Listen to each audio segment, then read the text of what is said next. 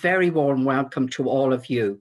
My name is Joyce O'Connor and I chair the digital group here at the IIEA. I hope you are all keeping well and staying safe. I'm delighted to welcome our keynote speaker, Mr. Bobby Healy, founder and CEO of Manna Aero, who will talk to us on drone technology, social opportunities, and regulatory challenges.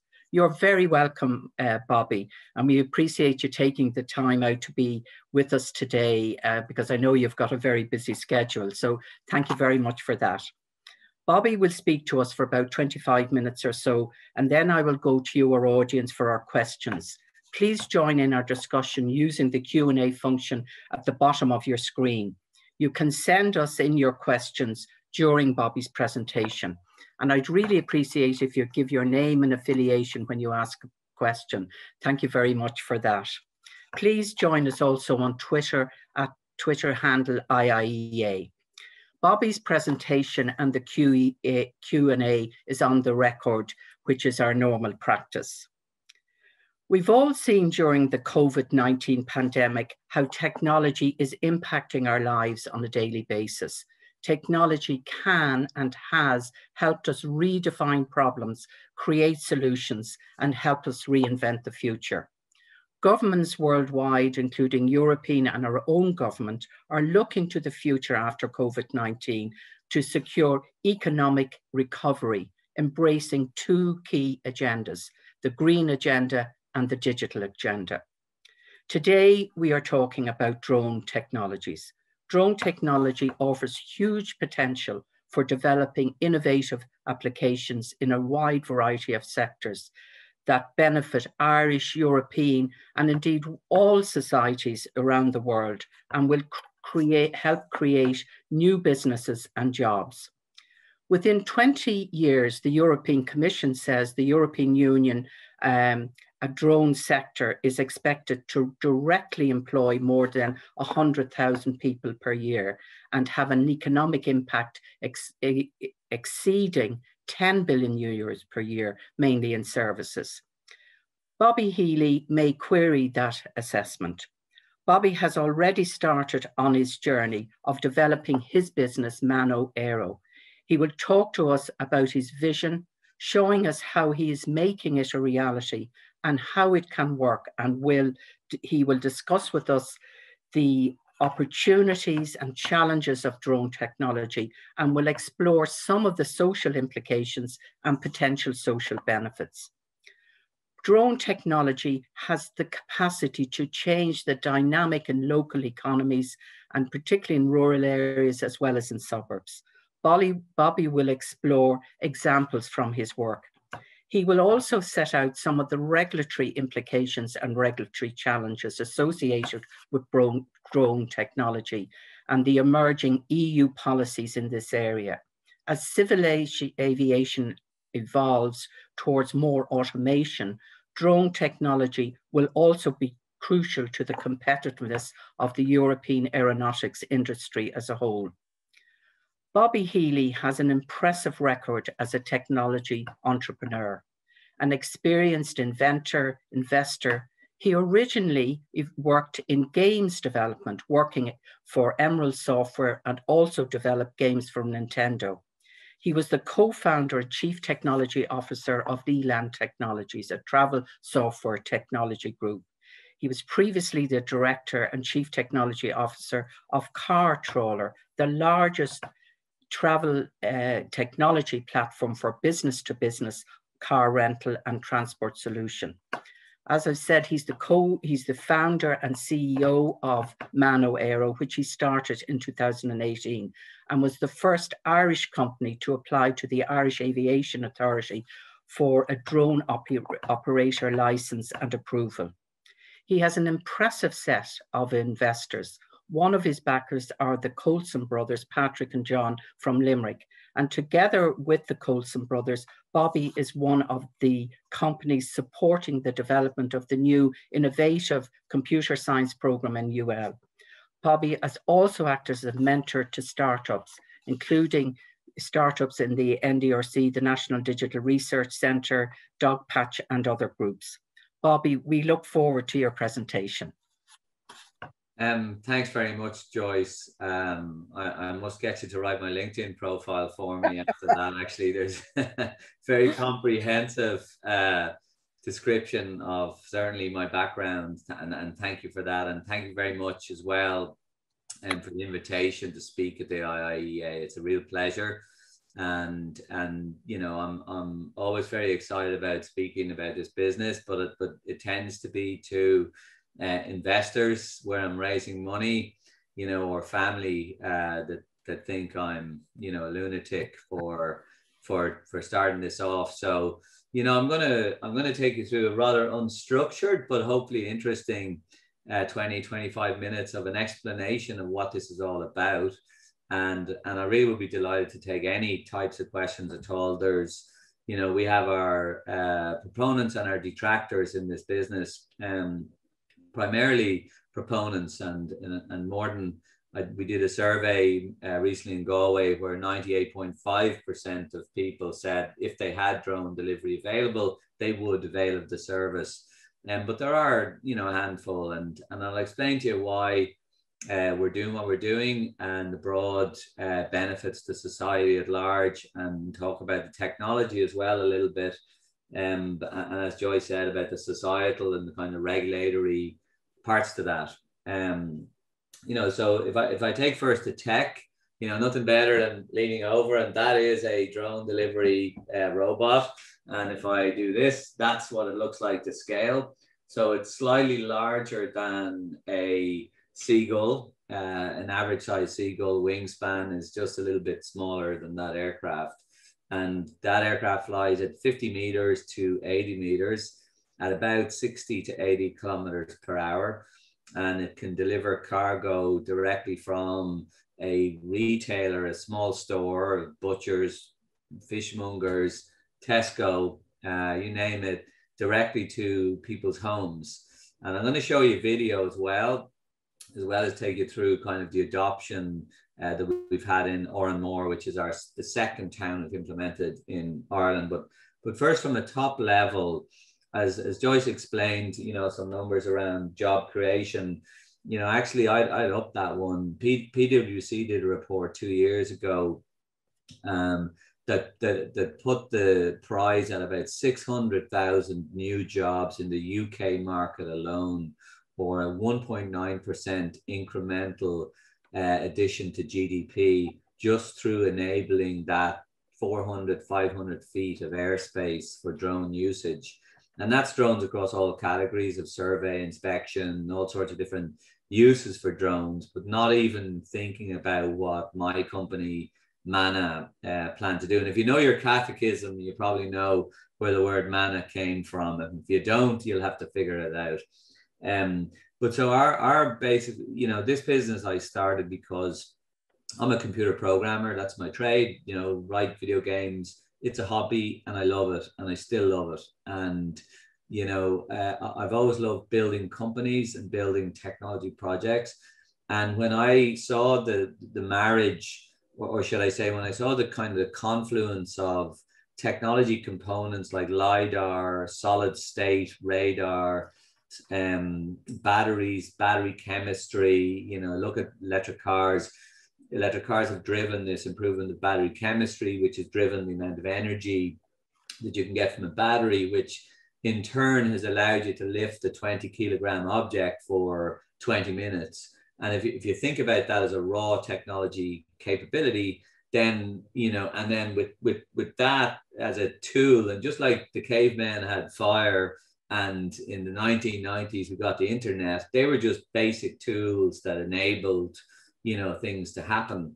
But if you take that confluence of different technology components and you make a drone out of it and then you look at, at, at use cases for that particular technology you look no further than online food delivery last mile delivery of online food of pharmacy critical food items covid test kits we're delivering at the moment everything. So you know i i thought that it'd be worth exploring to build a business that would take this technology, bring it to the production quality aircraft, and and then answer the question of can you in an economically efficient way, change the way society moves things around suburban and rural communities. So, so just to be clear, it's not valid for big, large, dense cities with tall buildings. So in case you're wondering, will we ever deliver to balconies? The answer is no. We will deliver to roofs.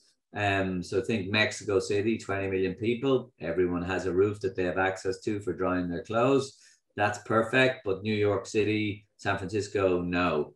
And closer to home, Tallaght, of course, no problem. And Pearse Street, not so easy. So the way we work is we, we fly, we arrive, we don't land to deliver. We look for two meter diameter space on the ground and we lower the product down to the ground. So, so the business, the marriage of technology and a particular domain is, is usually what it, it forms the, the genesis of, of a, an entrepreneurial project. And, you know, I quickly spoke to the aviation regulator in Ireland to once I had figured out that the technology component was viable and that the unit economics were viable, i.e., could we deliver with a fully loaded cost less than what it would cost just a person in a car to do, which is what we're replacing.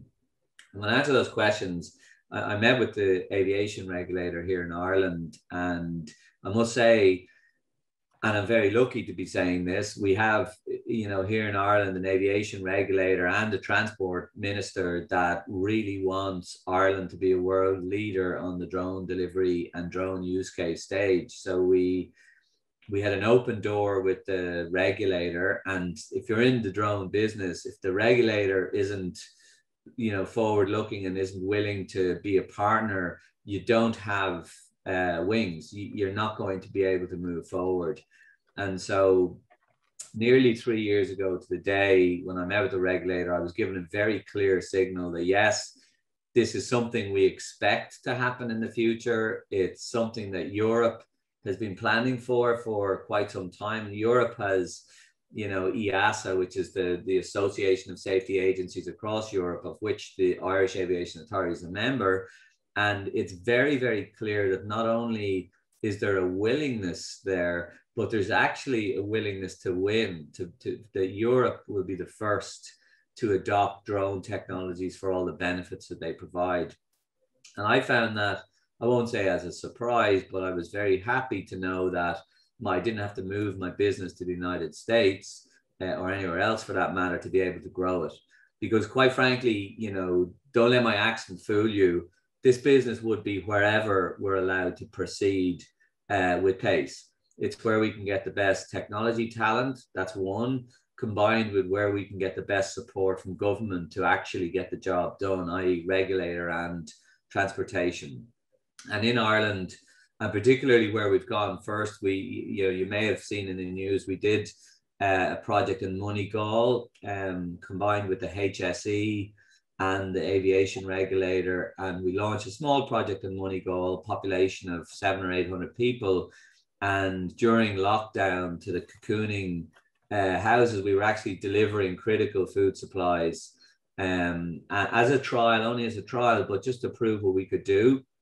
And that was last March, so March 20, just as lockdown had come in. And, you know, that I think that in itself is amazing. There, there you have a gigantic organization like the HSE putting their shoulder behind something to test out, you know, if, if we can do better.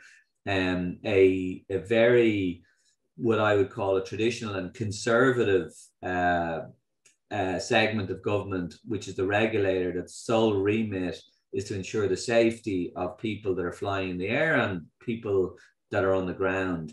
And, and Manna, a VC backed entrepreneurial you know, bunch of, you know, well, just look, mixture of oil and water, they work very, very well. And and from that, that that went very well. So we we then went to Oranmore, and, and Oranmore is a, is a case study in in doing this properly because Oranmore has about just short of 10,000 people in it and about 3,000 homes. It has a large Tesco. It's a big suburb uh, right on the estuary on the west coast of Europe.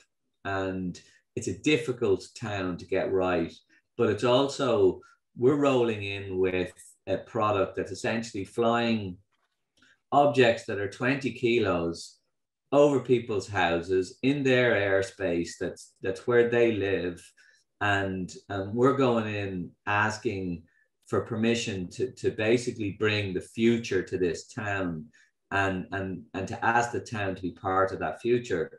And it, it's really interesting like we have such massive support from from the people in Oranmore but it was done in cooperation. So we, we first worked with local council then the chamber of commerce then all of the local vendors i.e the the um, the small little coffee shops the small little restaurants anyone that has a small business in Oranmore and of course Tesco, you know, the the giant that that is Tesco are our anchor and allow us to fly from their roof. So you'll see, I'm just going to briefly show you what Oranmore looks like uh, today. Um, this picture here uh, is Oranmore on Google Maps. All those orange lines are real drone deliveries. And if I hover over some of them, that's Tesco Oranmore delivery. This one here is coffee, uh, co- coffee from another coffee shop. This one here is more coffee. Uh, down here, cameo tie, and so on. And I could hover over all of these lines and show you what people are ordering. But the point is, and this, this flight here is six and a half, 6.7 kilometers away. And um, what's interesting about this is, and look, you see some, you know, for this is ice cream delivery. So Mm. Point is 30% of the homes in Oranmore are now using this service and use it for the most normal things that you could possibly imagine. You know, I was sitting there uh, a couple of months ago and one of our investors was there with me on the roof of Tesco, just, you know, check out the technology. And somebody ordered a head of broccoli. And, and that's a case where online, somebody ordered a head of broccoli from Tesco and they received it in about four minutes. But point of it is the broccoli cost 60 or 70 cents and they got it straight to their home exactly when they needed it. It happened to be dinner time. They obviously had no veg, you know, being Irish, meat and three veg. Uh, they were down one. But but think about that. An online transaction for a product that is delivered to the house within minutes. That's an idea of the impact that we're going to have as we scale this business. And when you when you apply that to actual behavior, consumer behavior, more than half of our deliveries in Oranmore today are for coffee. They're for coffee and a croissant or a scone. The average basket value by drone delivery is twice that of a walk-in customer for the coffee shop. And it's interesting because that's new business that didn't exist before. So so that coffee shop had a certain amount of business, and you know it's a it's a tough business, but you know people make it work. But when you give that coffee shop three minute access, uh, every one of those flights I showed you, by the way, the median flight time is two minutes forty seconds. The the maximum flight time is about three and a half minutes. Um, but when you give a small vendor three minute access to 50 square kilometers of customers, that transforms that business. That means that that business, no matter be it a, a fishmonger, a bookstore, an electronics store, we've done a deal with Samsung to deliver Samsung phones, can be anyone. But the point is, you can now get to everybody in a 50 square kilometer catchment area in three minutes and for free because we don't charge. We charge a consumer delivery fee. So how does that change things? Well, you know, I have my own thoughts, um, and we're seeing a small version of it certainly in Oranmore. But my view is that we're going to enable a totally new type of commerce. We're going to transform existing small businesses to, to just get more demand from existing customers. We're going to change consumer behavior. So consumers won't be getting in the car to get their cameo tie. They'll get it sent to them by a robot, and they won't be, you know, going down driving. This particular journey was nearly three kilometers for the head of broccoli. They won't need to make that journey. They'll just get it. Um, and and the, the nature and behavior, the granularity and the frequency of commerce in suburbs and rural communities will totally change. And that creates opportunities for existing businesses So think again, that small coffee shop, that coffee shop or the two that we deal with in Oranmore would be closed if they didn't have drone delivery. Totally mm-hmm. closed. It wouldn't be viable. Now, when lockdown ends, what will it look like? Well, they might have a much smaller footprint for walk-in customers, and 10% of their business will be walk-in customers, but 90% will be getting coffee in three minutes to a full population of three and a half or 3,000 homes. So, so, so small businesses will change. And then look at the bookshop. Uh, we think we did the world's first ever delivery of a book. Um, but Champagne Football, if anyone knows the book, um, is available for purchase in the Oranmore bookshop. And it was bought online and delivered by drone in, uh, in a few minutes. And think about that. That bookshop has a better product than Amazon have for Oranmore residents. So your local residents now, sorry, your local small businesses actually, because of the logistics, can now outperform the gigantic tech businesses that have distribution at their core and logistics at their core. So we're enabling jobs in suburban communities that wouldn't have existed before.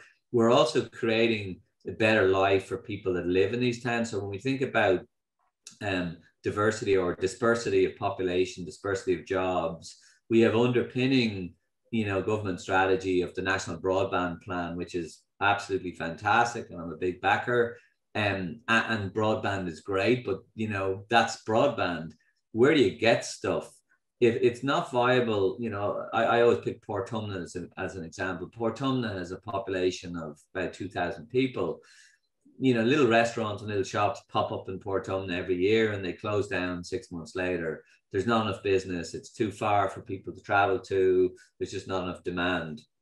But if those shops had instantaneous access to, again, four, five, six mile radius operation and they could get to everyone in three minutes, those businesses would be viable.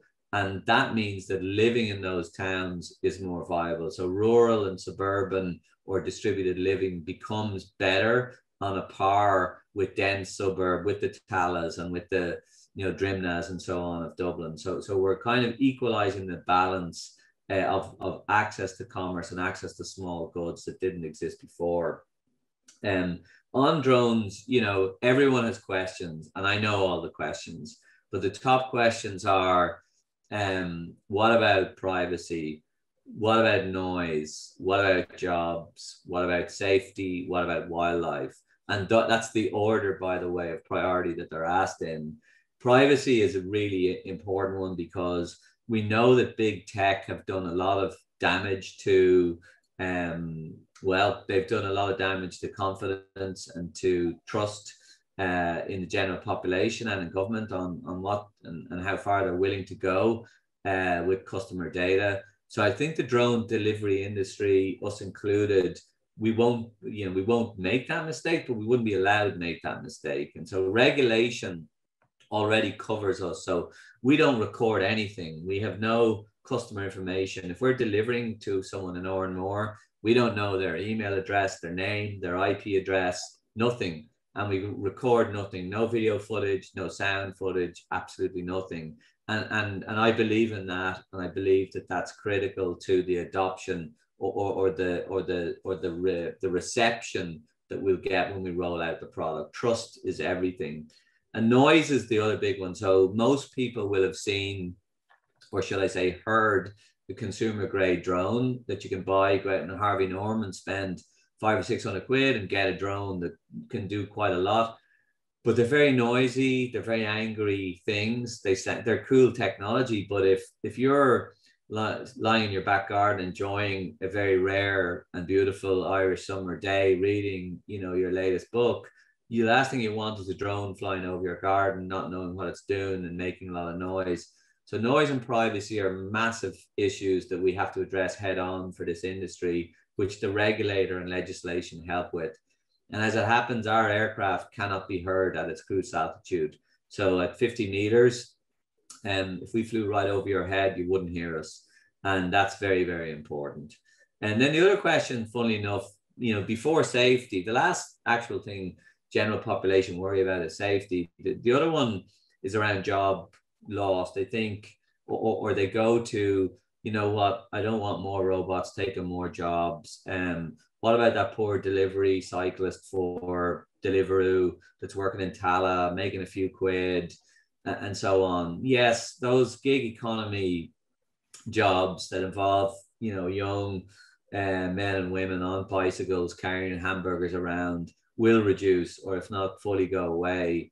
And, and I believe that's a good thing. The, the number of accidents that happen on our roads and on international roads and um, carrying frivolous products around are enormous, and it's not a good thing. It's a low paid gig economy job. And um, everything about it is not good for the person doing it, except for the, the, the hourly wage. And our answer to that is the extra business and the extra commerce that proper logistics bring to a suburban town will create more than enough jobs to replace those ones. So, so we think generally speaking, and, and all the big consultancies would agree, enabling the drone airspace will be a massive incremental job creator. And so quite, quite confident about that. Um, and then the last thing is the business, you know, the business side of this. I have a few more minutes and, and then I'll wrap up and take questions. I'm going to show you a video of a drone delivery as well. The business side of this is today it costs operators, aggregators. I think Just Eat, Uber Eats, Deliveroo in Ireland.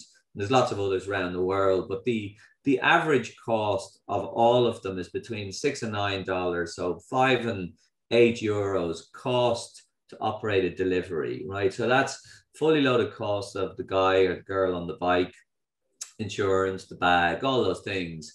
And it takes them a median time of 40 minutes to get the product from a restaurant to your house, which constrains demand, right? Because it takes so long, most people don't order that frequently.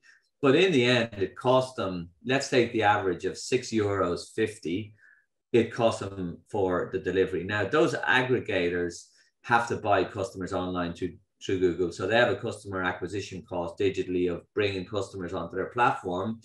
The restaurant has to pay for all of that. So the restaurant that has an average sale of 25 euros has to find 30 to 40% commission to pay to an aggregator to do the delivery for them. And that's the problem. This is today a $200 billion industry. Food delivery is $200 billion industry growing to 350 billion. Everyone is making money except the small guy. The restaurant that's you know making maybe 50 meals a day, maybe 100 meals a day if they're really lucky, and um, barely breaks even, but now has to look at a 20 to 30, sometimes 40% commission to aggregators to do the to, to, to get the product to customers, right? but but the problem is no one wins right? Because those big aggregators are single digit margin businesses as well because their base cost is that six to nine dollars. So nobody is happy with delivered food except the guy eating the chips. And that's what drones will fix. So what drones will do is it will completely remove that cost. Therefore the margin of the base product i.e the, the food shop, the person making the scones, the person making the coffee, their margin improves, their volume improves, and the aggregators that bring those customers to them have zero cost of the logistics. We do all of that. So, so the world, in terms of financial sense, is a far more sensible world.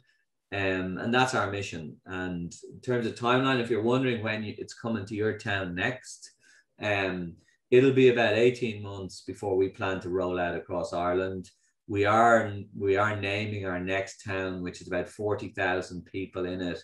We'll name that town next month, uh, probably in the next three weeks, and that's all we'll do this year, ahead of getting ready to scale. And we've applied for a European wide license already. We have a team in the United States uh, with worldwide ambitions.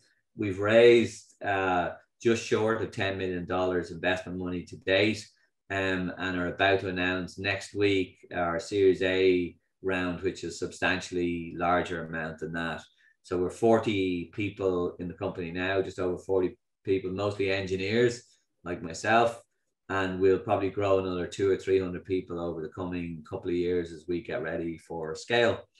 And I think I've covered all points there, Joyce. Now, if you want to move to uh, Q&A, I'd be very happy to take people's questions.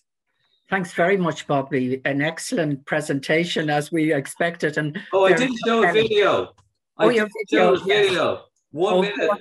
One minute. The most important. Um, I'm sorry. I'm sorry, Joyce. Uh, let me just Oh, get, that's perfect. get this for you, so everyone knows what it is, right? I won't talk during it. It's one minute forty seconds long, and it's a delivery of a cameo tie to a family of four people, and you'll see, well, you'll hear the kids outside the house, you know, all excited about it. You'll also notice that the kids are louder than the drone itself. So here we go.